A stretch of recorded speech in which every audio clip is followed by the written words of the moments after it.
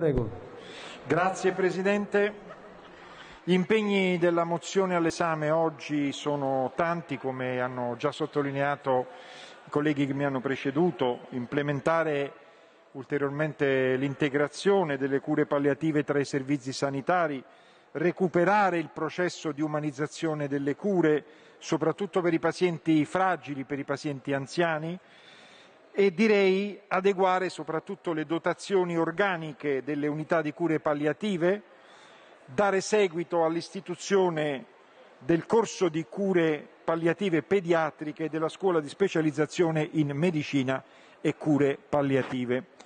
Tra i diversi eh, impegni vorrei sottolineare l'importanza di un uh, protocollo, un protocollo uniforme su tutto il territorio nazionale che nell'ambito della riorganizzazione della rete ospedaliera correlata al Covid-19 possa assicurare il mantenimento delle comunicazioni tra i familiari e gli operatori, proprio per garantire ai familiari la possibilità di avere informazioni precise e garantire appunto che ci siano notizie sullo stato di salute del proprio familiare. Questo attraverso una figura appositamente designata, eh, direi dedicata all'interno delle unità operative di degenza, ma in particolare anche nei pronto soccorso ed è ugualmente eh, importante assicurare lo svolgimento delle visite da parte dei familiari secondo delle regole prestabilite. In mancanza di questa possibilità, magari l'adozione di strumenti alternativi alla visita che, eh, come si è visto in molti casi, è stata rappresentata dalle videochiamate organizzate dalle strutture sanitarie. Ogni struttura dovrebbe in qualche modo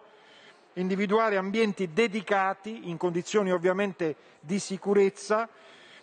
ambienti che siano appunto adibiti all'accesso di almeno un familiare e eh, garantire la disponibilità anche di eh, personale che sia dedicato all'assistenza sociale, all'assistenza psicologica, all'assistenza spirituale, con una preparazione che sia idonea a gestire le esigenze di pazienti Covid-19 e delle loro famiglie. Noi come Movimento 5 Stelle stiamo lavorando a diversi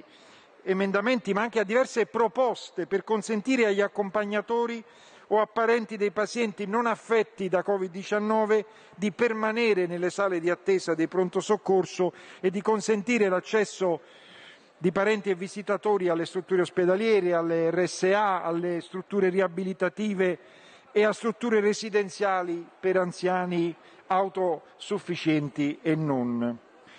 E stiamo lavorando anche per garantire le uscite temporanee degli ospiti dalle strutture residenziali attraverso anche l'informazione, la sensibilizzazione non solo degli ospiti, dei familiari, ma anche dei caregiver sui comportamenti che vanno tenuti durante le uscite in modo che ci sia la massima sicurezza dell'ospite e ovviamente anche della struttura al rientro dell'ospite stesso. Le cure palliative sono espressione dell'attitudine propriamente umana a prendersi cura gli uni degli altri, specialmente di chi soffre. Esse testimoniano che la persona umana rimane sempre preziosa, anche se segnata dall'anzianità e dalla malattia. Queste parole, queste parole sono state pronunciate da Papa Francesco il 5 marzo del 2015, un'occasione nella quale Papa Francesco incoraggiava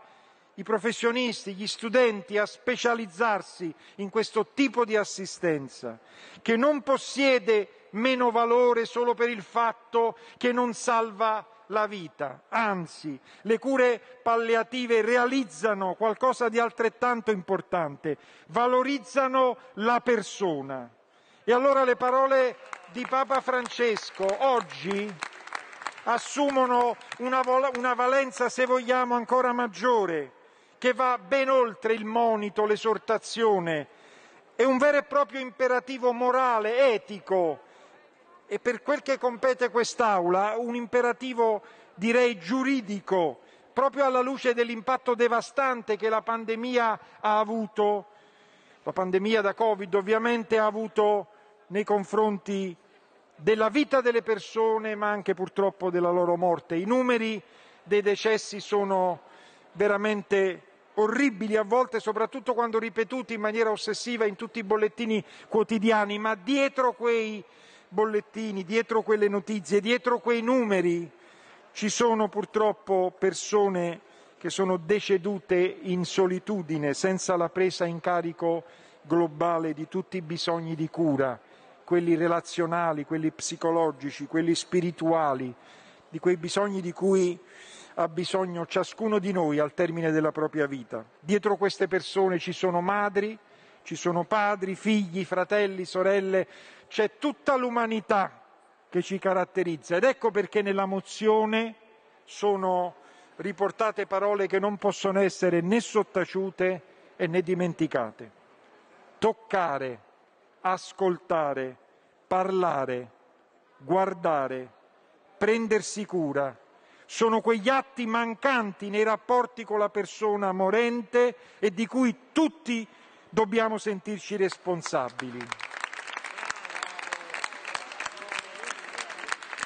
Durante questa emergenza, questi atti d'amore, dobbiamo dirlo, sono stati un po' sacrificati per molte, forse per troppe persone, sia per i pazienti Covid che per quelli che non avevano il Covid. E questo sacrificio forse segnerà in maniera inevitabile le coscienze di molte generazioni, le coscienze dei singoli, siano esse familiari, siano essi professionisti, ma anche figure istituzionali che hanno dovuto operare scelte dolorose sacrificando loro malgrado questa parte di umanità. E allora abbiamo l'occasione di restituire a ciascuno il diritto di alleviare le proprie sofferenze sul fine vita e durante la malattia. Le cure palliative, diciamolo in maniera chiara, definitiva, sono un diritto assoluto, mai più rinviabile e mai più sacrificabile. Le strutture sanitarie, quelle socioassistenziali, anche all'interno delle medesime regioni, hanno dato indicazioni disomogenee in merito alle relazioni tra pazienti e familiari. La maggior parte delle strutture, questo lo sapete tutti, ha previsto il divieto di accesso generalizzato da parte dei familiari, dei visitatori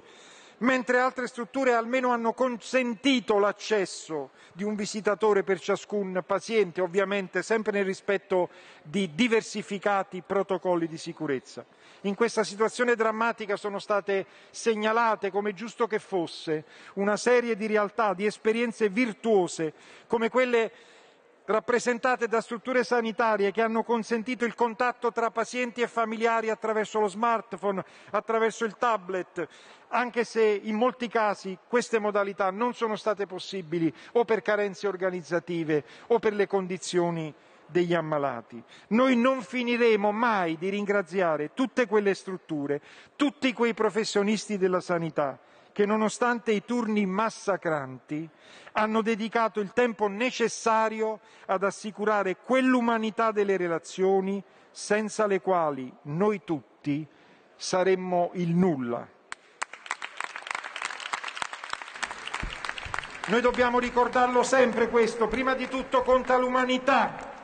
prima di tutto ci sono le relazioni umane, familiari e sociali, ma soprattutto noi qui come legislatori dobbiamo garantire che mai più nessuno sia messo in condizioni di sacrificare la propria umanità ed è da qui che nascono i diversi puntuali impegni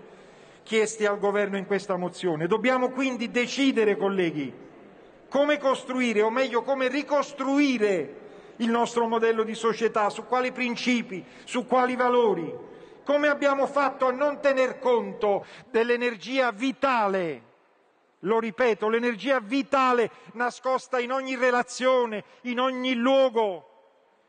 in ogni attività del nostro vivere comune. Concludo. Come abbiamo fatto a non tenere presente al centro del dibattito politico questo tema così vitale per una società inclusiva che tutti quanti diciamo di voler realizzare. Allora chiudo, Presidente, richiamando quest'Aula ad un impegno etico prima che politico nei confronti del Paese per metterci in linea con un sentimento diffuso delle nostre comunità, che è quel sentimento che potrà contribuire certamente alla rinascita del nostro Paese. Grazie. Grazie.